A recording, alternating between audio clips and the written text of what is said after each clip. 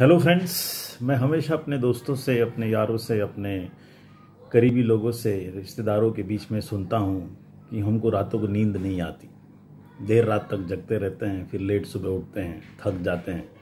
कोशिश करते हैं सर हम सोने के लिए, लेकिन हमको नींद नहीं आ पाती। इसके लिए नेटफ्लिक्स में यूट्यूब वीडियो देखने में और कई सारी चीज़ों में, पबजी में, वीडियो गेम खेलने में हमारा मन को अटका देते हैं और हम सो नहीं पाते हैं। और मुझे पूरा यकीन है कि आप में से कई सारे लोग होंगे जिनके साथ ये होता होगा। है ना? आपका मन आपको सोने नहीं देता है। तो कहते ना दिन में भागता है और रात में जागता है ये मेरा बावला मन। सुनता नहीं है, सोने नहीं देता है। तो ये वीडियो आप सभी लोगों के लिए एंड तक देखिएगा। ठीक है? मेरा नाम प्रजेश ट्रॉस्की है। मैं एक टीचर हूँ, मैं ट्रेनर हूँ और एक लाइफ कोच हूँ। दोस्तों, मेरे इस YouTube वीडियो को आप सब्सक्राइब कीजिए, मेरे इस चैनल को आप सब्सक्राइब कीजिए। चैनल का नाम रखा है मैंने गुरु है, शुक्र है। चलो, हम वापस से उसी टॉपिक पे आते हैं। मुझे नींद ना आए, मुझे चैन ना आए। ये क्या हो रहा है मेरे साथ? मेरे दोस्तों, हमारे मन में, दिन भर में कहते हैं कि एक रिसर्च हुआ था। तो मैंने एक जगह पढ़ा था कि दिन भर में एक चौबीस घंटे में हम सब के अंदर साठ से अस्सी हज़ार के करीब बहुत सारे ख्याल आते हैं। इसमें से कुछ ख्याल जो होते हैं, जो थॉट्स होते हैं, वो अनरिजॉल्व होते हैं। अनरिजॉल्व होने की वजह से हमारे दिमाग में घूमता रहता है, घूमता रहता है और उस टेंशन से हम रात को सो नहीं पाते हैं। ये सबसे बड़ा रीज़न है। तो करना क्या चाहिए? सोल्यूशन क्या है? ये सबसे इंपॉर्टेंट चीज़ है। ध्यान से सुनिएगा बहुत ही बेहतरीन सोल्यूशन है।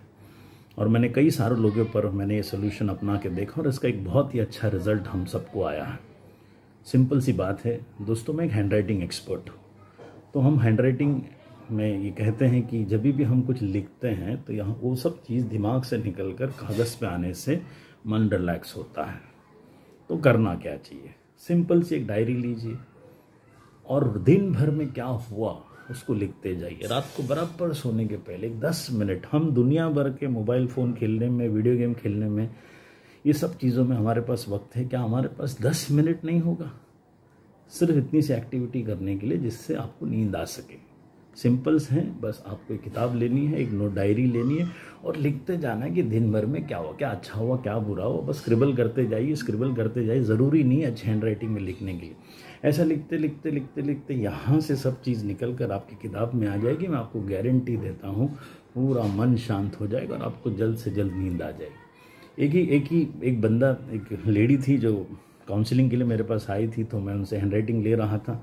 तो बेचारी लिखते लिखते लिखते अपने लाइफ के बारे में रोने लग गई, रोने लग गई, रोते रोते उसके पूरे कागज़ में आँसू गिरते गए गिरते गए गिरते गए, और वो आँसू गिरते गिरते गिरते गिरते क्या हो रहा था? वो साफ़ हो रहा था, पूरी हैंड राइटिंग साफ़ होते जा रही थी, उसकी ज़िंदगी से सब चीज़ें, मन में सब चीज़ें साफ़ होते जा रही थी, और पूरा लिख कर होने के बाद उनका कागज़ मैंने फाड़ कर फेंक दिया मेरे दोस्तों।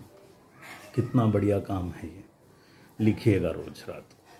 तो कहते हैं ना कि आपके लाइफ में अगर पाँच से छः प्रॉब्लम्स है हाफ़ ए डजन प्रॉब्लम आपके दिमाग में चल रहा है चैलेंजेस आपके दिमाग में चल रहे हैं, आपको करना कुछ नहीं है। लिखना है, कितने सारे प्रॉब्लम्स चैलेंजेस हैं।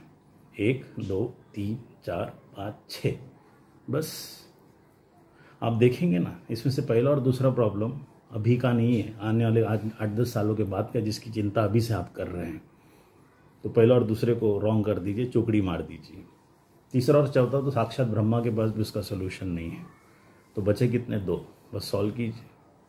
तो इसके लिए बहुत इंपॉर्टेंट सोल्यूशन है। Think it ink it do it and review it सोचिए, लिखिए, करिए और रिव्यू कीजिए। बस।